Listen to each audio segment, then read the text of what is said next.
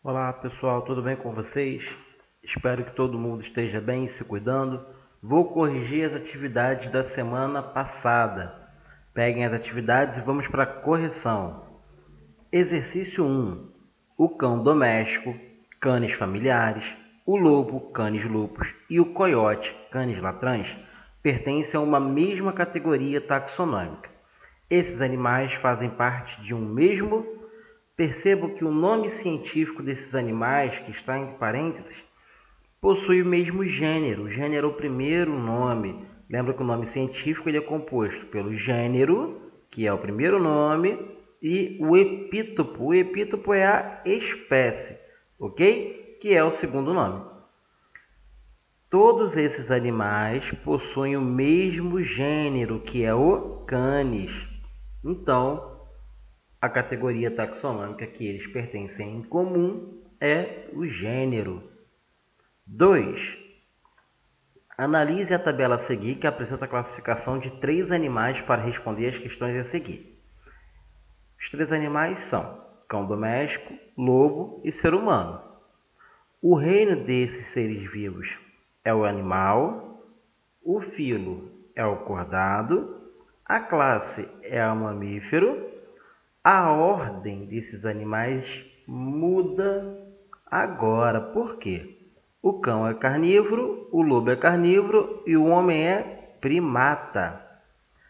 A família do cão e do lobo é a canídeo e do homem, hominídeo. O gênero do cão e do lobo é o canis e do homem, o homo. A espécie do cão é o canis familiares, do lobo o canis lupus e do homem homo sapiens. Percebam que o cão e o lobo apresentam mais características em comum, ok?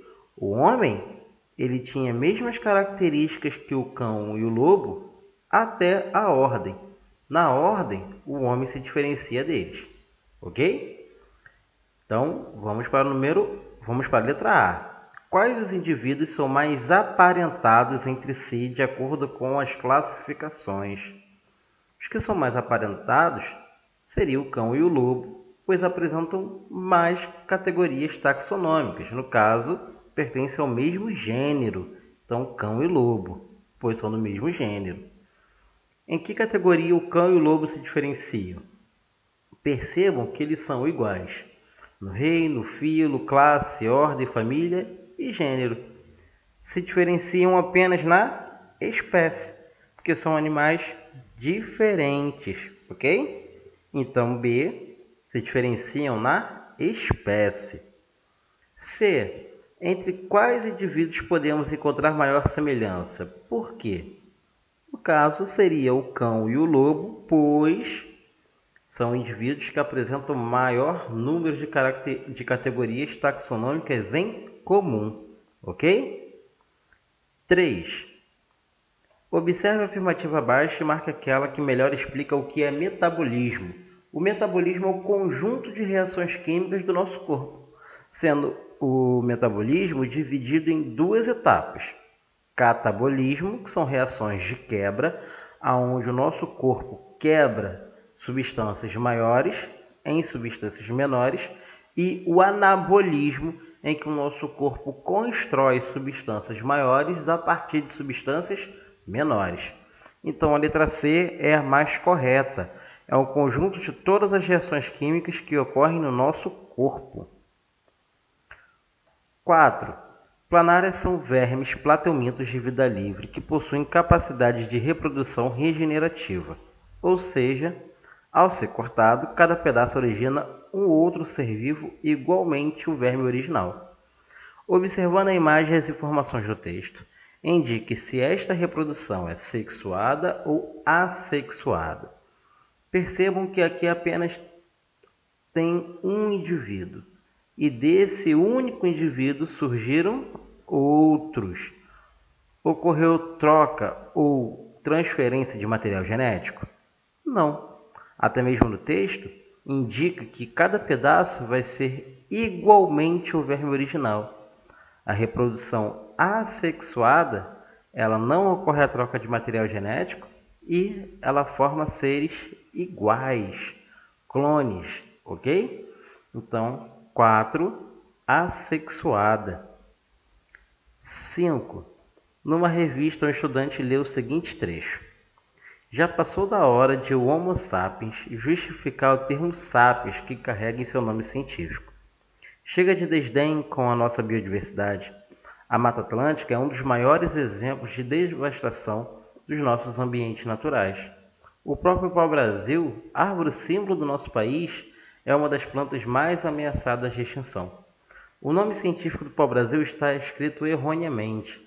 Reescreva o nome obedecendo às regras básicas de nomenclatura proposto por Linneu.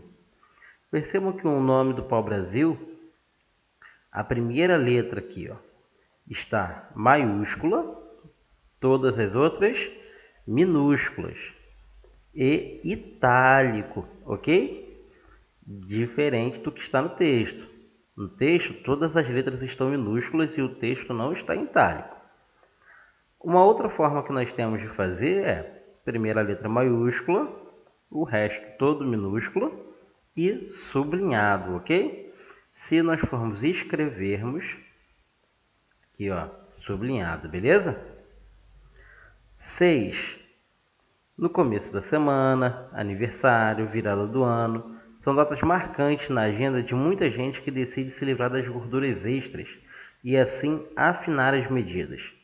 E aí soltamos ou ouvimos a boa e velha frase: Tenho dificuldade de emagrecer porque o meu metabolismo é lento.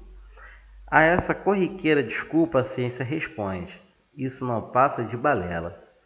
O metabolismo é um conjunto de reações químicas do nosso organismo sendo dividido em catabolismo e anabolismo. Diferencie-os. Pessoas, vamos lá. Catabolismo são reações químicas que ocorrem no nosso corpo com o objetivo de transformar substâncias complexas em substâncias simples. Ocorrem reações de quebra, transformando substâncias grandes em substâncias pequenas. O anabolismo já é o contrário do catabolismo.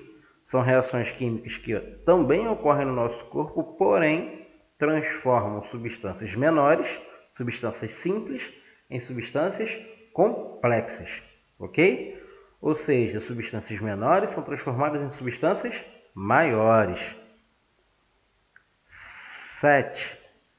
Linneu, através da sua obra Sistema Natural, propôs uma forma de denominar os seres vivos por intermédio do que chamou unidade básica de classificação, ou espécie, como por exemplo a ave conhecida popularmente como quero-quero é classificada, segundo o modelo de Linneu, como o Vanellus chilensis. Beleza? Então, o nome científico do quero-quero é o Vanellus chilensis. Quando analisamos o nome científico do quero-quero, podemos afirmar que a expressão Vanellus chilensis se refere à espécie. Eu não posso falar que o nome científico do quero-quero é apenas chilensis mesmo sabendo que o nome científico, primeiro nome é o gênero e o segundo é a espécie. Mas o nome do quero-quero não é somente chilensis, é Vanellus chilensis. Então esses dois nomes juntos se referem à espécie, ok? Então 7, letra A. Pessoal, um abraço, continue se